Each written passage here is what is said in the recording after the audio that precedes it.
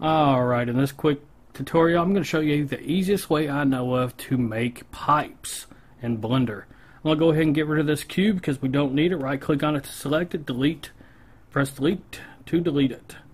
Now I'm going to add a Bezier curve. Add curve and then Bezier. Now I'm going to scale that no particular amount, just make it a little bit bigger. Go press 7, go to top side view, zoom out just a little bit, and then press tab to go into edit mode. And I'm going to subdivide this two times just to add a little bit more geometry and add some more control points. And I'm going to just add a little bit of shape to it. I mean, you could add whatever shape you want it because this would be the shape of the pipe rotate Z. Alright, that's good enough for this example. Now I'm going to press tab to exit edit mode and that will be the shape of the pipe. Alright, now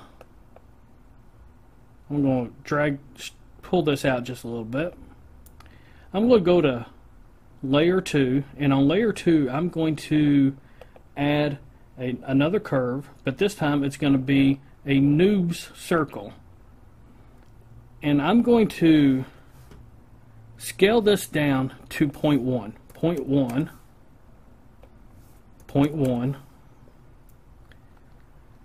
now I'm going to go back to layer 1 I'm going to right click on the Bezier curve to select it. And then right here on the curves tab I'm going to click on that and bevel object.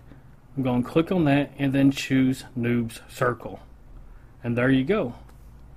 You have a perfectly made pipe.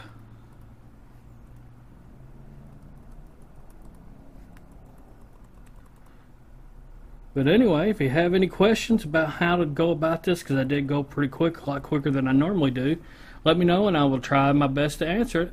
Anyway, thanks for watching. Later, people.